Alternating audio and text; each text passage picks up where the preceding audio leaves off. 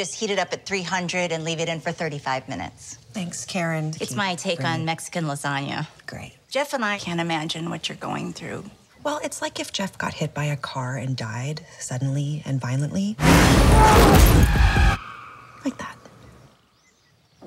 Well, you get that dish back to me whenever you can. Welcome to Friends of Heaven. Looks like we have some new people here today. I'm Judy. Jen, I hope this isn't weird. Can I give you a hug? No.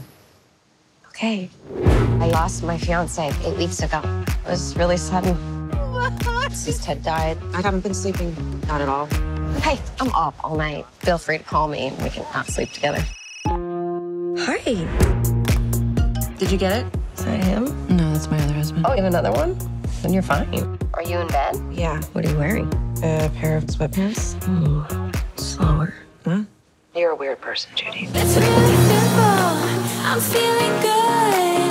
I feel myself and I'm feeling understood. Do you do this a lot? Just every time I see a person-sized dent in the front bumper of a car. But it must be hard to be alone in that big house without Steve. My guest house is open. Be nice having you there.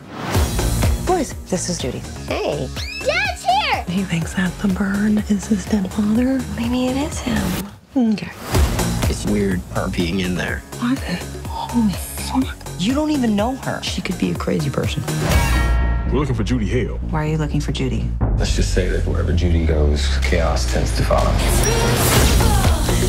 feeling good. I feel Is this some kind of game that you're playing? There's a lot of shit you don't know. Grief does some weird shit to people. I know you.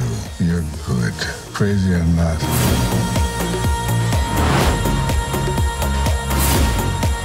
Invited a criminal into your home. She's the only person who has been here for me. That doesn't make me feel like I am failing at everything.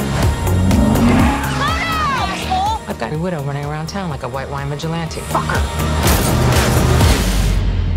Fucking love you. I'm feeling good. I miss you, baby. Just wanted to say that. Okay, fine. Just trying a thing. Fuck you too.